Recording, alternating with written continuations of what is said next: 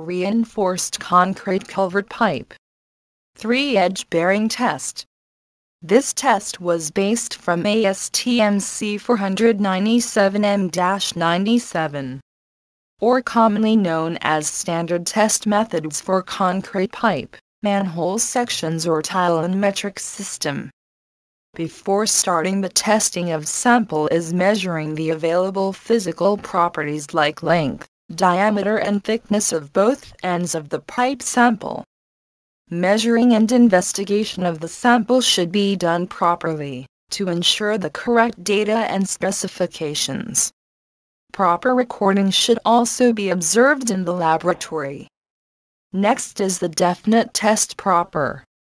After reading and preparation of the conditions sample, calibrated 3-edge bearing machine will be operated with a bit-by-bit load until it meets the surface of the concrete pipe. Pipe is laid all supported on the bottom, to have a uniformly distributed reaction when load is imposed.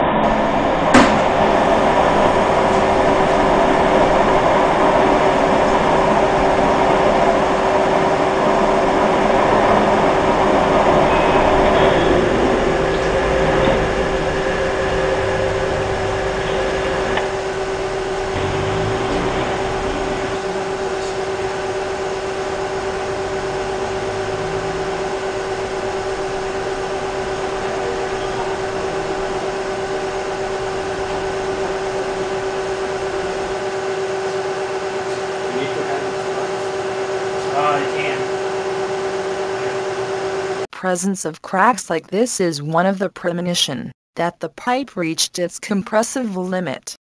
When it does, machine contact will be removed freeing the sample from loading.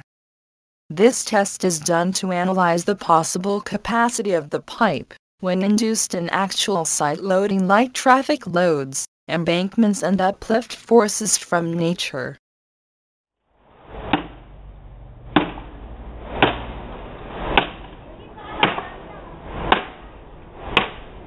Hammering of the tested sample is necessary to view, investigate and determine the internal reinforcements of the concrete pipe, like the diameter of rebars, longitudinal spacings and ties. Reinforced concrete culvert pipe. 3-edge bearing test. Technical specifications and results.